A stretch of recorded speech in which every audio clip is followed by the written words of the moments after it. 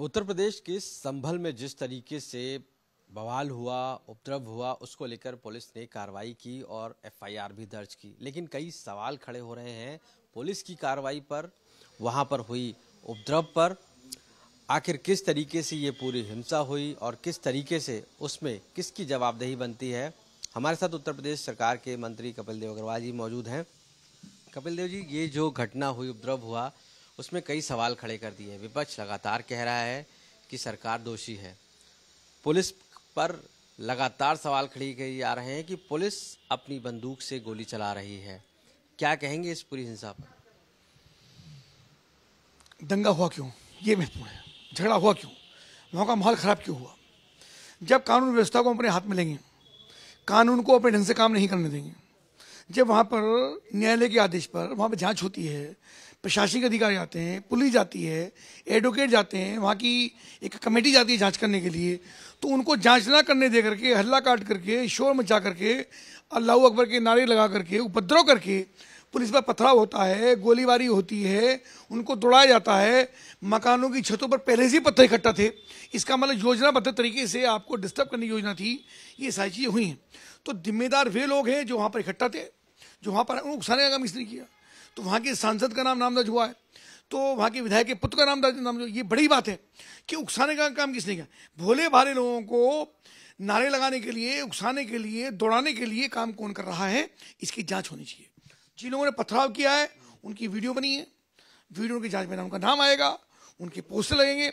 ऐसे सब लोगों पर आदरणीय मुख्यमंत्री योगी आदित्यनाथ जी, उनका स्पष्ट कहना है कि प्रदेश के अंदर किसी को भी अमन चैन को ध्वस्त करने का अधिकार किसको नहीं है? सबको समान रूप से जीने का अधिकार है। यहाँ दीपावली होती है, होली होती है, विजयदशमी होती है, ईद होती है, गुरु गोविंद सिंह की यात्रा निकलती है ईसाइयों के कार्यक्रम होते हैं। सबको समान रूप से अपने मंदिर और मस्जिदों को और अपनी बातों को करने का अधिकार है। वो बदलाव करके प्रदेश की व्यवस्था को हैंग कर देगा, अपने हाथ में ले लेगा, ये अधिकार किसी को नहीं दिया जाएगा। लेकिन पुलिस पर आरोप है कि पुलिस ने गोली चलाई। कहीं ना कहीं उसने ही शुरुआत की।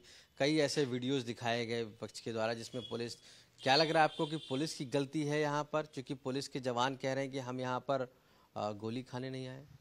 नहीं तो ठीक कह रहे अगर उन पर उपद्रवी, उन पर गोली चलाएँगे, पत्थर बरसाएँगे, एक, एकजुट होकर हज़ारों की संख्या में लोग हमला कर देंगे तो क्या पुलिस हाथ बांधे खड़ी रहेगी? आत्मरक्षा तो पुलिस कुछ भी नहीं करेगी। लेकिन पुलिस की गोली से कोई व्यक्ति नहीं मरा है, उसकी जाँच भी हो रही है। दूध का दूध, पानी का पानी हो जाएगा। उपद्रवियों ने जो आपस में गोली चलाई है, पुलिस पर हमला किया है, मुझको लगता है उसकी गोली से वे लोग मरे पर मरे कोई भी हो, मैं उनके लिए संवेदना व्यक्त करता हूँ। वो जिस भी परिवार के होंगे, जिस भी माँ के बेटे होंगे, जिस भी माँ के बच्चे होंगे, वो कोई वो हमारे लिए कस का विषय है। लेकिन इसके लिए जिम्मेदार लोग उन पर मुकदमे कायम हो, उन पर कार्रवाई हो, वे लोग जेल जाएँ, उनके पोस्टर लगे, और जो सरकारी संपत्ति नुकसान पहुँचा गया उनकी रिकवरी उनसे होनी चाहिए। ऐसा मुख्यमंत्री जी ने पिछले वर्षों में 2022 के अंदर जो बिल लाए थे विधेयक लाए थे, जिनमें स्पष्ट रूप से कहा गया कि सरकारी संपत्ति हो या निजी संपत्ति हो, अगर कोई उसको जलाने में नुकसान पहुंचाना दोषी माना जाएगा तो उसकी रिकवरी उसी की व्यक्ति की प्रॉपर्टी को सेल करके की जाएगी। समाजवादी पार्टी के नेता कह रहे हैं कि वो डेलीगेशन वहाँ मिलने जाएगा, संभल में।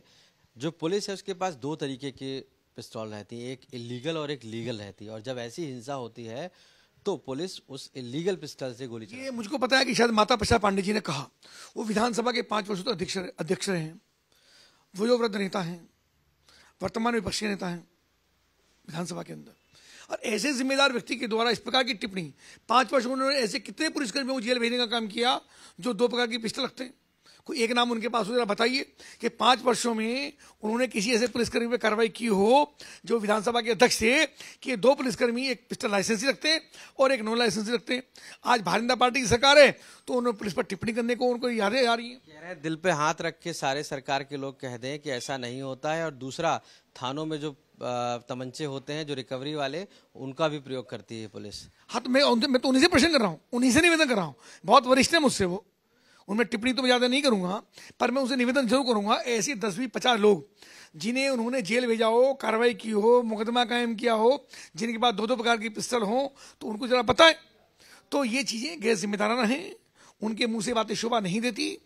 अखिलेश यादव जी बहुत इस काम करने के लिए, कम से कम माता प्रसाद जी इस प्रकार की टिप्पणी ना करें, सब उनका सम्मान करते हैं, बहुत वरिष्ठ हैं वो, और उन पर मेरे द्वारा टिप्पणी करना उचित नहीं है, पर उनके द्वारा इस प्रकार की पुलिस पर बोलना वो बहुत आपत्तिजनक भी है निराशाजनक भी है और खेदजनक भी है।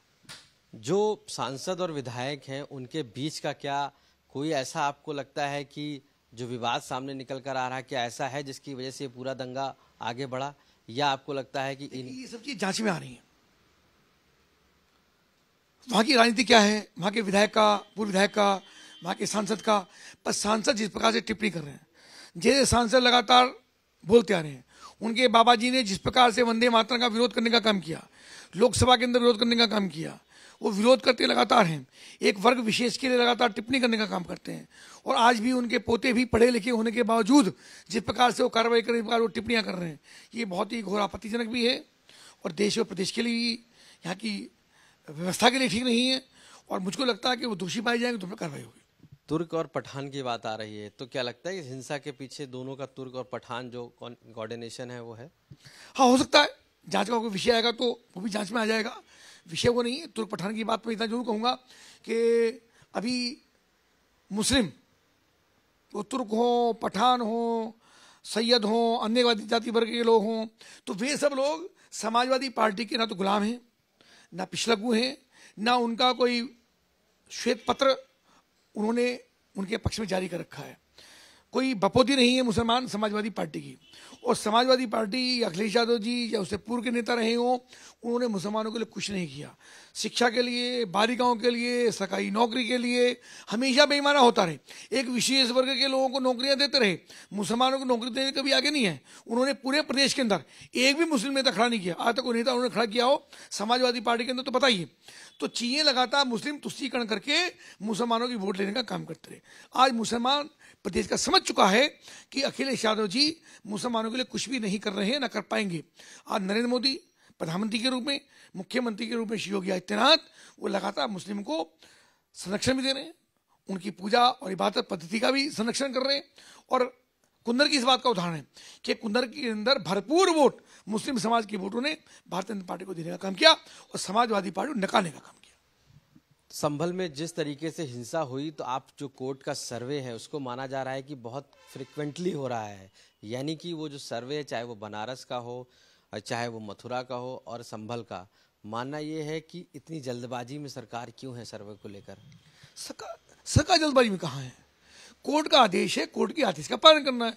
कोर्ट टाइम आउट प्रोग्राम देती है कि दस दिन के अंदर आपको करना है, पंद्रह दिन में आपको करना है। तो न्यायालय के आदेश का पालन कर रही है। न्यायालय का आदेश का पालन प्रशासन या पुलिस अगर नहीं करेगी तो उनको भी जाकर के कोर्ट में जवाब देना पड़ेगा, उनको भी जेल हो सकती है। तो ये जो कोर्ट की कार्रवाई के ऊपर समाजवादी पार्टी लगातार टिप्पणी कर रही है। ये संवैधानिक रूप से भी ठीक नहीं है। ये देश की संविधान को यहाँ की व्यवस्था को छिन्न भिन्न करना चाहते हैं। ये आरोप लगा रहे थे वो संविधान बदल देंगे। सच्चाई है कि समाजवादी पार्टी ही संविधान का पालन नहीं कर रही है और संविधान को अस्त व्यस्त और ध्वस्त करना चाहती है। आखिरी सवाल है क्या उन उपद्रवियों पर जो दंगई थे उसमें उन पर बुलडोजर चलेगा योगी सरकार का? विषय बुलडोजर का नहीं है। क्या होगा क्या नहीं होगा? अभी भविष्य करते हुए पर जो उपद्रवी हैं जो दोषी पाए जाएँगे, उन पर कानून के अंतर्गत उन पर कार्रवाई होगी। के लिए कपिल देव अग्रवाल जी, साफ़ तौर से मानना है कि जो भी इस पूरी हिंसा में उपद्रवी हैं, दोषी हैं, उनके खिलाफ सख्त कार्रवाई होगी और अगर पुलिस पर कोई भी अटैक करता है तो पुलिस चुप नहीं रहेगी, उसका जवाब देगी। लखनऊ से कैमरा पर्सन गौरव गुप्ता के साथ आशीष श्रीवास्तव, आज तक।